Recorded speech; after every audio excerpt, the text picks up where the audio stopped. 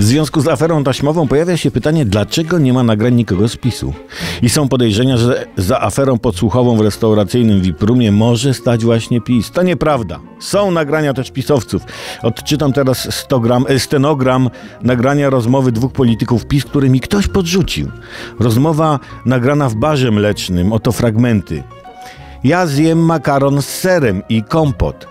Ja też trzeba być skromnym. Nie wiem, jakie jest pańskie hobby, panie kolego, bo moje. Niech, niech kolega nie odchyla głowy i mówi w kierunku wazonika. Okej, okej, okej.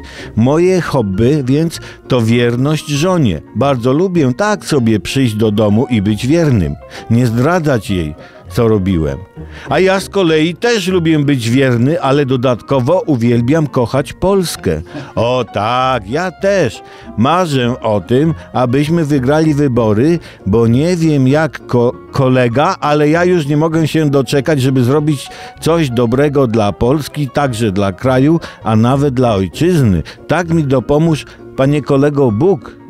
A, a wziął kolega kiedyś, przepraszam za słowo, łapówkę Ależ skąd? Brzydzę się korupcją i mi żal kolegów z PO i PSL, że oni się nie brzydzą. Okej, okay. to, to jedzmy. Panie Boże, pobłogosław te mikrofony, które, te makarony, które spożywać będziemy za własne pieniądze. I widzicie, widzicie, można prywatnie nie kląć i być uczciwym. O.